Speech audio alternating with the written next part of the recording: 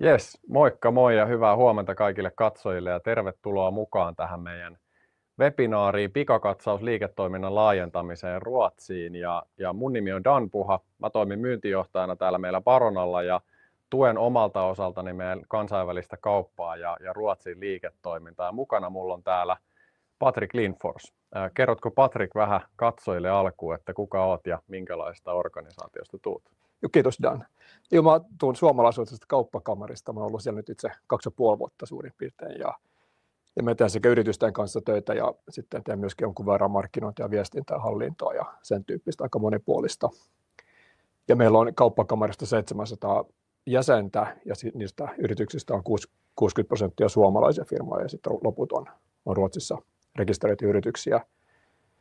Ja käytännössä meidän toiminta koostuu kahdesta osiosta. Meillä on tämä tämä neuvonantopalvelu, missä tehdään siis markkinointiselvityksiä ja siis anteeksi, markkinaselvityksiä sitten tehdään niin kuin konsultaatioita ja neuvonantoa, että käytännössä niin kuin juridiikkaa ja verotukseen liittyviä asioita, niin niissä sitten autetaan yrityksiä.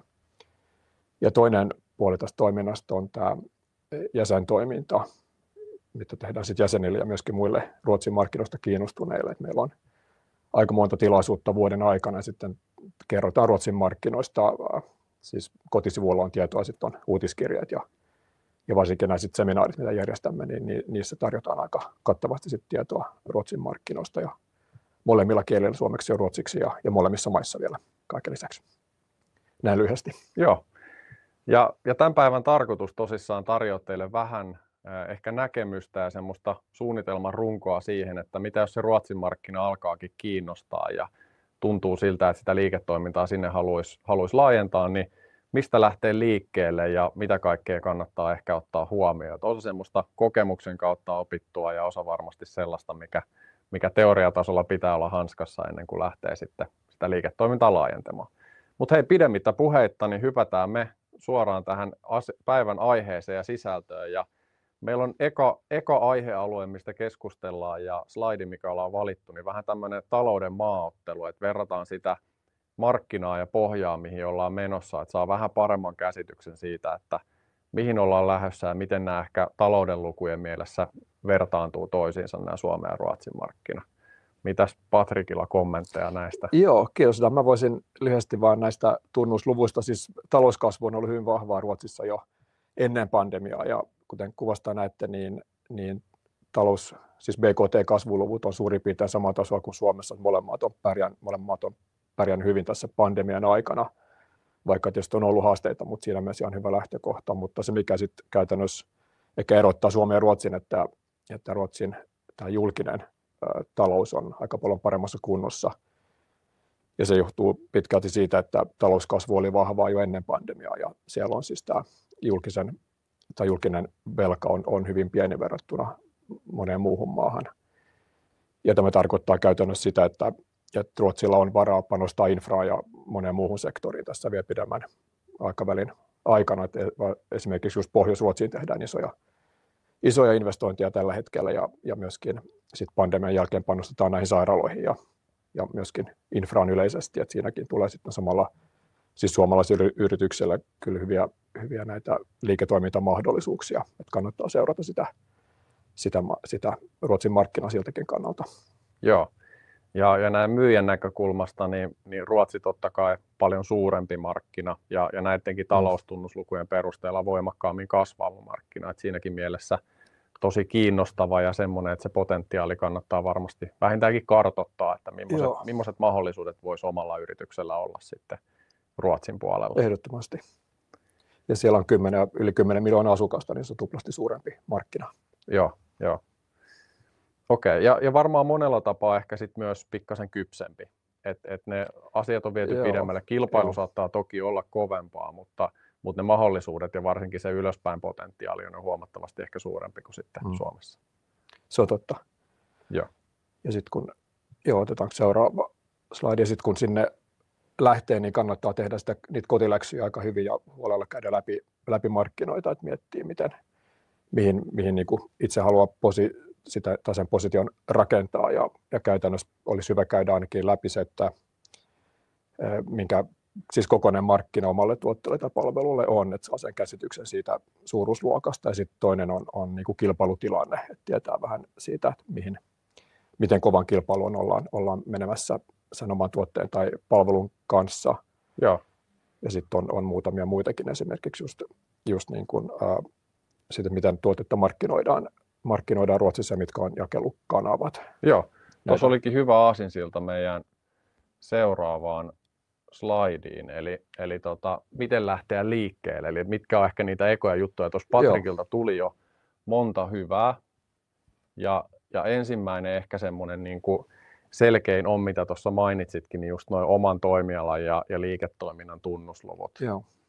Ja, sitten puhuit vähän jo noista yhtiömuodoista, mihin, mihin vähän mennään syvemmälle tuossa jäljempänä, mikä kannattaa oikeastaan miettiä sitten se rakenne, että, että millä haluaa lähteä liikkeelle, mikä on se pohja, pohja minkä kautta sitten lähdetään rakentamaan. Mutta sitten on kaikkea muuta selvitystyötä ja varmaan isolta osin tässä saa teidänkin organisaatiolta apua, mutta mitkä on ehkä niitä yleisimpiä tapoja, miten vaikka sitä selvitystyötä ja suunnittelua tehdään?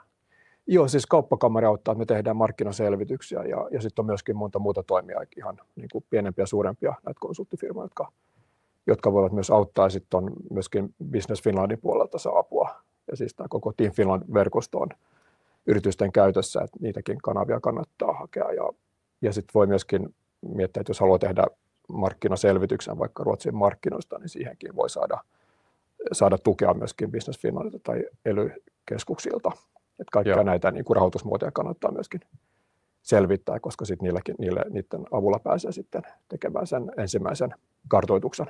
Joo, ja oman kokemuksen mukaan tuo suunnittelu, suunnittelutyö ennen sitä pelin avausta niin on tosi tärkeää, että ne, ne virheet siinä kohtaa niin korostuu käytännössä sitten tosi, tosi isosti, koska se on kuitenkin vähän hyppy tuntemattomaa monelle, u, mm. uusi asia, uusia haasteita, pikkasen erilainen kulttuuri ja markkina, niin ne, ne kotiläksyt kannattaa tehdä huolella ennen kuin sit lähtee niitä investointeja tekemään. Et sitä, sitä varmaan ei voida täällä enempää alleviivaa kuin mitä nyt ollaan tehty. No sitten on vastuuta ja yhteistyökumppaneita, että ehkä toi mitä vähän sivuutettiin ja mihin jäljempänäkin mennään tarkemmin, niin se, että, että on niitä kumppaneita ja paikkoja, mistä saa apua, niin, niin tosi tärkeää. mutta tota, mainitsitkin Business Finlandia teidän, ehkä sitten mä haluaisin vielä mainita, että, että tosissaan sitä esimerkiksi rekrytointiapua voi saada sitten esimerkiksi meiltäkin, että jos, jos tuntuu, että se ensimmäisen työntekijän rekrytointi on haastavaa tai ei oikein tiedä, mistä lähtee liikkeelle, niin siitä, siitä voi meidän kaltaisilta yrityksiltä ja meiltä pyytää sit apua. Hypätään eteenpäin. Tämä oli seuraavaksi, puhutaan vähän näistä yhtiömuodoista ja eri vaihtoehdoista. Eli tähän nyt on listattu kolme varmaan yleisintä ja, ja kattavinta vaihtoehtoa, mitä, mitä voi olla, niin kerrotko vähän, mitä eroja noilla on ja miten ne toisiinsa ehkä vertaantuu? Joo, jo tässä me nostettiin kolme eri vaihtoehtoa. Tässä ne on niin kuin nämä, ehkä millä useimmat lähtee liikkeelle, kumpi näistä. Ja siis tämän ekan vaiheen, vaiheen vaihtoehto ehkä olisi suurimmalle osalle just, että, että että suomalainen yritys rekisteröityy työnantajaksi Ruotsiin, koska sitten pystyy palkkaamaan henkilöä Ruotsiin ja sitten toimii siellä paikan päällä, mutta kuitenkin Suomesta käsin, että sillä, sitä kautta saa sen tuntumaan siihen markkinaan ja voi sitten miettiä, että mihin suuntaan haluaa kehittää sitä toimintaa ja millä, millä panostuksella. Että se on niin tämmöinen sisäänajo ajo vaihe siinä mielessä. Ja sitten toinen on tämä sivuliiketoiminta, mikä on, on myöskin hyvä vaihtoehto, että, että silloin silloin tämä Ruotsissa, Ruotsin yksikkö toimii niin kuin osana suomalaista konsernia käytännössä. Että sitä kautta saa sen jalansijan Ruotsiin. Ja siinä on muutama tekninen asia, mitä kannattaa huomioida, että pitää olla niin kuin ruotsalainen kirjanpito. Joo. Ja sitten sit pitää olla nimetty toimitusjohtaja, ja se henkilö voi olla vaikka Suomen, Suomen yhtiön toimitusjohtaja. Joo. Ja sitten mä voin ehkä vielä mainita, että siinä on, kannattaa kuitenkin olla tarkkana myöskin tämän esimerkiksi verotuksen suhteen, koska on aina riski, että joutuu siis tupla verotuksen kohteeksi, koska liiketoiminta on käytännössä molemmissa maissa, kun on, on tämä Suomen yhtiö, sitten on tämä sivuliike ää, Ruotsissa, että pitää olla niin kuin veroviranomaisiin yhteydessä ja, ja katsoa, ettei, ettei joudu maksamaan veroa molempiin maihin Joo. samasta asiasta. Mikä näistä on teidän kokemuksen mukaan suosituin ja, ja kauan tässä niin kuin menee tämmöisen perustamisessa ja, ja tekemisessä? Joo, siis äh, näihin kaikkiin menee jonkun verran aikaa, että siihen pitää varautua, koska tässä on siis tätä, ehkä taustalla voi, taustaksi voi sanoa, että on, on nämä siis rahanpesudirektiivit ja muut, jotka niin kuin edellyttää nyt, että on, on aika tarkat selvitykset ja monta Joo. lomakkeetta pitää täyttää, että jos, jos haluaa niin kuin perustaa sen siis tämmöisen sivuliikkeen Ruotsiin, niin se voi olla siinä 3-5 viikkoa okay. suurin piirtein. Ja sitten tämä rekisteröityminen työnantajaksi saattaa olla 6-8 viikkoa. Että vähän riippuu. Kaikki riippuu siitä, miten hyvin pystyy niin kuin vastaamaan kaikkien näihin viranomaisten kysymyksiin ja täyttämään lomakkeet. Ja, ja sitten ehkä tämä osakeyhtiö vielä, mikä, mikä meillä on, niin, niin se on sitten se, jos haluaa toimia oikein oikeana ruotsalaisena yrityksenä paikan päällä, niin, niin se on tietysti se, se siinä myös paras vaihtoehto. Ehkä, ehkä helpottaa myöskin rekrytointeja ja, ja niin kuin hallintoa yleisesti ja sitten samalla pitää varautua siinä tapauksessa siihen, että on, on just tätä hallinnollista taakkaa jonkun verran siinä alkuvaiheessa, että pitää avata siis pankkitili samaan aikaan, kun lähtee rekisteröimään sitä osakeyhtiötä. Että sen takia siihen menee myös se kaksi kuukautta helposti. Okei, eli, eli pari kuukautta kannattaa ehkä varata siihen, että, että kaikki asiat on suurin piirtein kunnossa, tai vähintäänkin varautua siihen. Joo, että jos, joo. Jos, jos nyt lähtee tätä hommaa niin kuin starttailemaan, niin kesän jälkeen ehkä sitten olisi niin kuin byrokraattiset joo, asiat joo. kunnossa. Joo, se on parempi, että on realistisen asian suhteen, ettei lähde liian, liian optimistisesti, optimistisesti liikkeelle siinä heti. Joo. Ja, ja varmaan tämä niin kuin, ä, työnantajaksi rekisteröityminen semmoinen kevyin vaihtoehto näistä, tai ainakin Joo, nopein. Ja, ja eikö ole niin, että, että siitä voi kuitenkin sit edetä, perustaa sit sitä yhtiöä myöhemmässä vaiheessa, kun on, on vaikka tietylle tasolle kasvanut liiketoiminta? Joo, se on, se on itse asiassa aika hyvä polku, että aloittaa sillä vähän kevyemmällä sitten. Tietysti riippuu siitä, mikä on tausta organisaatio Suomessa, että miten paljon pystytään panostamaan. Joo. Ja tässä on kuitenkin, kaikissa näissä on keskeinen osa se, että Suomesta annetaan riittävästi tukea sille Ruotsin yksikölle tai henkilölle, Joo. joka siellä toimii. Okei. Mennään eteenpäin. Seuraavaksi meillä on tämmöinen, kaikkea ei tarvitse tehdä itse, eli, eli vähän se, että, että ne kumppanit kannattaa miettiä huolella ja niitä kannattaa käyttää monessakin mielessä. Ja ensimmäisenä pointtina meillä on se rekrytointi. Ja ää, aika, aika monella suomalaisella yrityksellä niin rekrytointi Suomessakin on sellainen, että sitä tekee ehkä, ehkä joku esimies tai, tai päällikkötaso, mutta voi olla myös niin, että on rekrytiimi, mutta Ruotsissa kannattaa muistaa ne tavallaan kulttuurierot ja ehkä sitten se toimenkuvan täsmäytys, että varmasti ollaan realistisia sen suhteen, että mitä haetaan. Et ehkä ne semmoiset, mitkä liittyy nyt myös niihin sudenkuoppiin, mistä tänään keskustellaan, niin just sen ensimmäisen rekrytoinnin merkitys ja se, että että mistä sen työntekijän löytää, niin, niin ne kannattaa myös sit ottaa suunnittelussa huomioon. Mutta sitten tuolla on ö, työehtosopimuksista on, on muistutusta ja sitä, että, että ne, on, ne on ainakin taagilla tässä meidän esityksessä parissakin kohdassa, mutta mitä niiden suhteen kannattaa muistaa ja, ja miten niiden kanssa kannattaisi lähteä liikkeelle? Joo, hyvä, että mainitsit tämän nyt vielä erikseen, koska se on tärkeä osa sitä, sitä prosessia, kun sinne Ruotsiin lähtee. Ja siis käytännössä noin 90 prosenttia joista on, on työehtosopimuksen piirissä, että se on ehdottomasti se yleisin malli.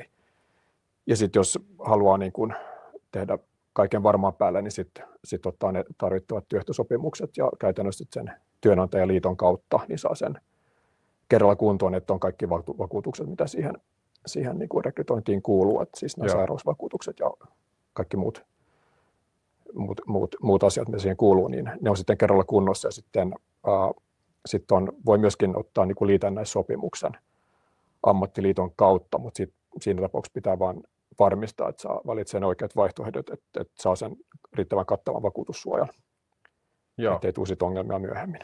Okei. Okay. Ongelmista kerrotaan kohta lisää, että mitä kaikkea Joo. voi tulla, mutta tota, tilitoimistopalvelut, että varmaan semmoinen hyvä kumppani, joka, joka pystyisi ohjaa tavallaan ja, ja se rakenne on valmiina sitten sen kumppanuuden kautta, että osaa huomioida ne kaikki tarvittavat maksut ja kulut, mitä siihen kuuluu ja, ja mitä kaikkea pitää kirjanpitoon milläkin tavalla laittaa, niin asiantunteva ja osaava kumppani varmaan tässä niin kuin kaiken A ja O. Ja eikö niin, Joo. että teillä on jäsenyrityksinä kumppaneita ja sitten osaatte ohjatakin ja kertoa vähän eri vaihtoehdoista, I, mitä voi käyttää? Joo, se on kyllä totta, että jos on hyvä, hyvä varsinkin just tilitoimisto Ruotsissa, niin sitten sit välttyy kyllä ongelmilta monesta tapauksessa, että siinä mielessä kannattaa panostaa siihen. Ja meillä on siis jäsenyrityksinä on, on, on tilitoimistoja Ruotsissa, ja, ja, et, eli meiltä voi kysyä, niin me voidaan tarjota muutamia vaihtoehtoja, sitten voi asiakas itse päättää, että miten haluaa edetä. Joo. Mutta siinä mielessä ratkaiseva asia kyllä ehdottomasti. Joo. Okei.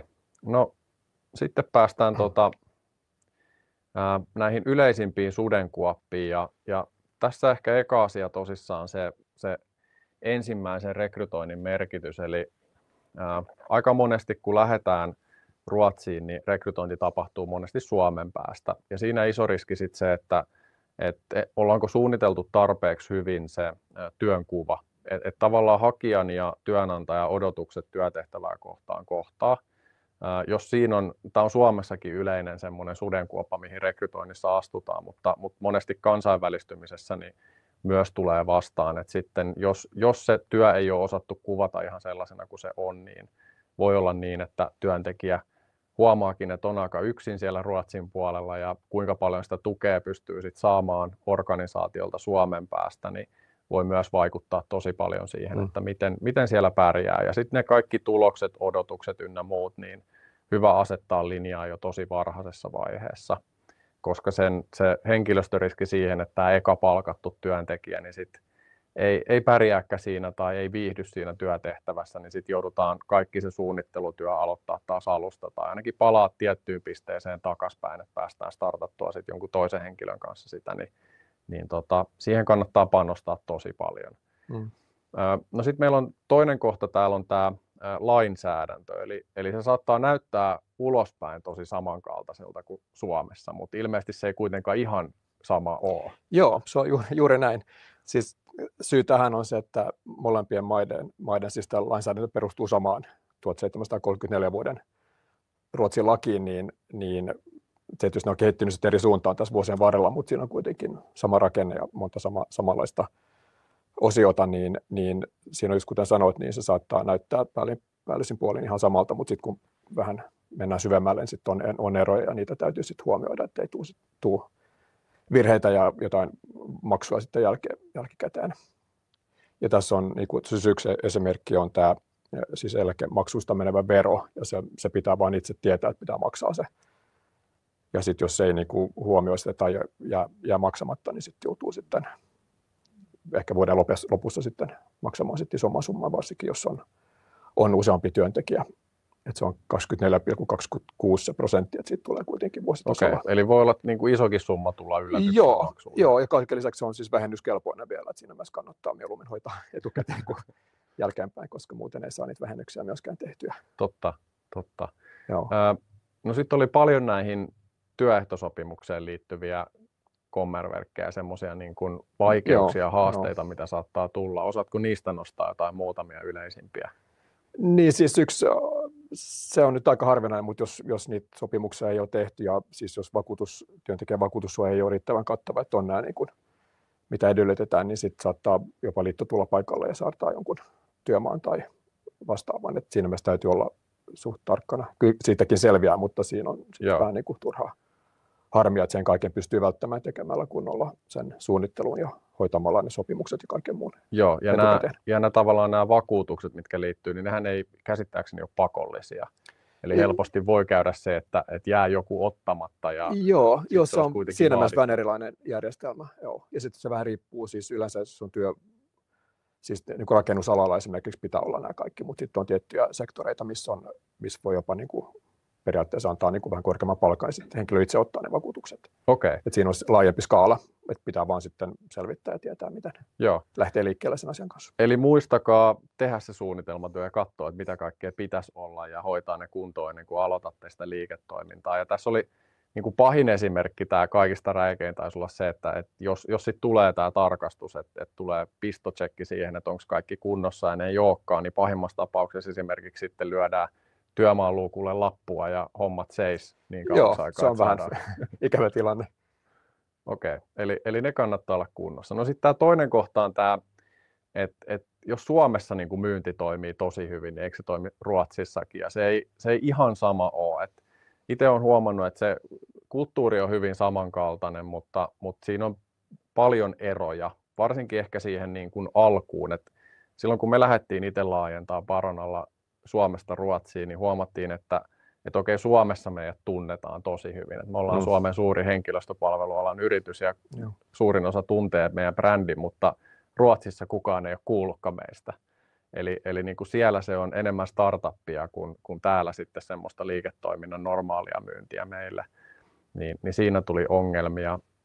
Mutta mut kuitenkin mä koen, että vastaanotto meille on ainakin ollut tosi hyvä. Mutta mitä sanoisit tai kuvailisit sitä, että miten suomalaiset yritykset mielletään Ruotsin puolella? Joo, siis mehän saadaan aika paljon palautetta siitä meidän jäsenyrityksiltä ja muutenkin verkoston kautta, niin, niin kyllä se lähtökohta on se, että suomalaisia yrityksiä arvostetaan, että niitä pidetään luotettavina kumppaneina ja siis harvoin on ongelmia käytännössä, koska molemmat kuitenkin tuntee toisensa eh, niin hyvin, hyvin jos miettii Suomea ja Ruotsia, niin, niin ja sama sitten pätee kyllä näihin työntekijöihin kanssa, että kyllä niin kuin suomalaisia arvostetaan Ruotsissa, että on, on päteviä ja hyviä työntekijöitä ja, ja tietysti on pitkä historia jo niin kuin tässä 60-luvulta eteenpäin ja, ja nyt viime vuosien aikana on niin kuin enemmän, että siis just teknologiapuolella on paljon suomalaisia, jotka on töissä Ruotsissa ja niitä arvostetaan todella paljon kyllä, että siinä mielessä on, Joo. hyvä, on hyvä lähtökohta. Siinä ehkä voin vielä lisätä, että jos vaikka niin kuin helposti olettaa Suomessa, kun lähtee sinne Ruotsiin, että, että Suomi on niin hyvä valttikortti, että sillä sitten mennään, että se on se kärki, kun lähdetään myymään, niin se ei välttämättä kuitenkaan ole ihan se paras ratkaisu, että kyllä se hinta ja, hinta ja laatu ja muut tekijät niin kuin on se, on, ne, ne ratkaisee käytännössä ja sitten tämä Suomi-tausta on niin kuin mukava lisä siihen kaikkeen. Joo, ja ehkä toinen asia, mitä siinä myynnissä ja varsinkin tavoitteiden asetannassa kannattaa ehkä ottaa huomioon, että, että oman kokemuksen mukaan niin Ruotsissa päätöksentekoprosessi P2P-puolella on pikkasen pidempi. Mm. Et ihan vähän kauemmin kestää se myyntiprosessi, että et tykätään small talkkaa enemmän ja, ja fiikkaa, eli, eli tällainen kahvi viinerikulttuuri on ehkä vahvempi kuin Suomessa, mutta tota, sen lisäksi niin, niin se ehkä semmoinen palautteen saaminen myyntitilanteessa on vähän, vähän erilaista, että harvoin tai harvemmin tulee sellaista suoraa ei-päätöstä, että et Suomessa ehkä suoremmin mennään aiheeseen ja suoremmin saa sitten sen päätöksenkin asiakkaalta, niin se kannattaa vähintäänkin ottaa huomioon siinä, kun lähtee myynnin tavoitteita ja suunnitelmaa tekemään. Joo, juuri näin. Ruotsalaiset ovat aika kohteliaita, niin ne ei sano ei välttämättä yhtä suoraan kuin mitä tämä, mihin Suomessa ollaan totuttu. Joo. Se on just näin. No, no sit mä sivuutin tuossa vähän tätä niin kuin bränditunnettuutta ja se, se varmaan näkyy siinä, että et, et ei voi olettaa, että se suomalainen brändi on tunnettu myös Ruotsin puolella, oli mm. kyse mistä hyvänsä. Okei, meillä on paljon tosi tosi kansainvälisiä isoja brändejä. Ne ei ehkä nyt tässä kohtaa laajentamassa Ruotsiin, ehkä on jo siellä. Mutta tuota, Joo, suurin osa. kannattaa ottaa se huomioon ja, ja varmaan myös sitten referenssienkin osalta, että jos on niitä hienoja menestystarinoita, että ollaan tehty tämän ison yrityksen kanssa hienoa työtä ja Suomessa se puree se referenssi, niin välttämättä Ruotsin puolella ei tunnetakaan niitä, se, sitä tekijäbrändiä tai sit sitä asiakasbrändiä, niin ne, ne kannattaa ottaa huomioon. Joo, meillä on sama kokemus kyllä, että jos vaikka siis suomalaisella firmalla on hyviä referenssejä Suomessa, mutta kun niitä, niiden kanssa menee ruotsalaiselle asiakkaalle tai potentiaaliselle asiakkaalle kertomaan omasta tuotteesta tai palvelusta, niin jos se brändi ei ole tuttu Ruotsissa, niin sillä ei ole sama, sama arvo kuin Suomessa. Että sitten kannattaa panostaa alkuvaiheessa siihen, että saa niitä ruotsalaisia asiakkaita ja, ja referenssejä. Niin sitten helpompi jatkaa. Okei. Okay tässä oli meidän yleisimmät sudenkuopat, mitä me ollaan tunnistettu. Varmaan paljon muitakin on, mitä saattaa tulla mm. matkan varrella vastaan. katsotaan, onko meille tullut, tullut tuota, ää, kysymyksiä. Ää, täällä on kysytty esimerkiksi ää, hallintomuodoista tai toimitusjohtajan johtoryhmän rooleista Ruotsissa, että onko ne poikkeavia Suomesta – onko yhtiön hallituksella Ruotsissa enemmän operatiivinenkin rooli. Mä en, mä en osaa vastata tohon. Mä en nyt siis mä en näkisi, että siinä on suurempaa eroa. Tietysti on yhtiökohtaisia eroja ja varmaan, varmaan niin kuin jonkun verran eroja Suomen ja välillä, mutta en näkisi, että siinä on mitään dramaattista eroa. Joo, joo. Et suurin piirtein samoilla, samoilla niin kuin periaatteilla toimitaan. Joo. No sitten on kysytty, ää, tuotekehittäjä Keksiä Lohjalta on kysynyt tota, keksinnölleen apuvälineelleen ää, tota, myynnin aktivointiin Ruotsin suuntaan apua, niin, niin tota, mistä kannattaisi lähteä liikkeelle? Varmaan teiltä saa monessakin asiassa Joo, apua. me voidaan niin olla siinä alkuvaiheessa mukana ehdottomasti. Joo, Ja sitten mä voisin yleisenä vinkkinä ehkä just tähän sanoa vielä, että jos, jos on, on niin kuin jotain suunnitelmia Ruotsin suuntaan, niin kannattaa rekisteröidä se .sc-domaini niin pian kuin mahdollista, koska jos se on vapaana, niin kannattaa ehdottomasti joo, rekisteröidä. Senhän saa suomalaisen palvelutarjoajan tarjoajan kautta tehtyä. joo. Ja, ja vastaus varmaan tuohon kysymykseen aika semmoinen yhteenveto tästä meidän tämän päivän esityksestä. Eli, eli tsekkaa ne, että mistä apua saa. Ää, Finsven sivuilta löytyy yhteystiedot joo. ja, ja Paronalta saa rekrytointiapua, eli jos sitä myyjää lähdetään rekrytoimaan sinne Ruotsiin, niin se voi olla yksi vaihtoehto, millä vähän voi ohittaa sitä byrokratiaa ja päästä nopeammin liikkeelle sen liiketoiminnan laajentamisen kanssa. Mutta sitten se oma suunnitelmatyö, mitä tuossa alussa kerrattiin, niin, niin tutustua siihen toimialaan, kilpailijoihin ja niiden kautta sitten lähteä rakentamaan sitä omaa suunnitelmaa. Joo. Tuleeko muuta mieleen? No ehkä just se, mistä, mitä vähän jo sivuttiin, että kannattaa antaa riittävästi tukea Suomesta käsin, koska se henkilö, joka sit sinne Ruotsiin laitetaan, niin se voi olla vähän hukassa, jos ei saa riittävästi tukea Suomesta. Että, että pääsee ainakin, että tietää siis riittävästi tuotteesta ja miten paljon tukea saa sit Suome, Suomesta käsin siihen, Joo. siihen niin kuin pidemmän aikavälin asiakkuuden rakentamiseksi. Ja, ja nythän on aika silleen hedelmällinen aika, että tämä pandemia nyt kun on kääntymässä vihdoin voittoon, tai ainakin jonkunnäköistä valoa on Mm. tunnelin päässä monessakin paikoin näkyvissä, niin varmaan vielä hyvää aikaa tehdä sitä suunnitelmatyötä ja, ja niin kuin kaikki askelmerkit laittaa kohilleen niin, että sitten kun vihdoin portit aukeaa, niin, niin pääsee kunnolla tekemään ja myymään ja, ja ne, ne pohjatyöt on sitten tehty tähän aikaan Joo, valmiiksi. Joo, jos kun miettii näitä yhtiömuotoja ja muita, että jos niitä lähtee nyt rekisteröimään niin, ja, ja tätä suunnittelua tekemään, niin sitten on jo aika hyvä tilanne syksyllä, kun lähtee, lähtee sitten oikeasti liikkeelle. Joo. Okei. Hei, meillä alkaa aika olemaan täynnä. Ää, kysymyksiä ei ole tullut vielä, vielä lisää, mutta tota, ehdottomasti niin kannattaa siis suunnitella huolella se laajentaminen ja, ja mä en näkisi mitään syytä, että ei ainakaan itselle kannata niitä muureja asittaa, että jos, jos se tuntuu ää, sellaiselta, mitä haluaa tehdä, niin kannattaa ainakin alkaa tekemään suunnittelutyötä ja sitten tehdä päätöksiä, kun on niitä vastauksia ja käytännön laskelmia siitä, että miltä se laajentaminen näyttäisi. Ja olla yhteydessä mahdollisimman moneen tahoon, mistä voisit kysyä apua siihen, siihen tekemiseen. Et yksin näiden asioiden kanssa ei varmasti tarvitse kenenkään painia. Joo, nimenomaan. Kyllä siis melkein kaikkiin saa, asioihin saa jotain tukea ja vastauksia kysymyksiin, niin kannattaa ehdottomasti olla yhteydessä näihin kaikkiin toimijoihin, jotka, jotka nyt tällä alalla toimii ja tukee suomalaisia yrityksiä. Joo. Ja tämä webinaari jää tallenteena elämään ja, ja tämän voi sitten käydä lataamassa myös, myös tämän tapahtuman jälkeen, niin voi käydä muistuttamassa itteensä, että mi, mistä täällä puhuttiin ja mitä kaikkea kannatti ottaa huomioon. Mun puolesta isosti kiitosta, että olitte kuuntelemassa ja, ja kiitos Patrik, että olit meidän vieraana täällä ja, ja kaikille oikein lämmintä ja mukavaa kevättä. Joo, kiitos Dan ja hyvää kevättä ja kesää kaikille.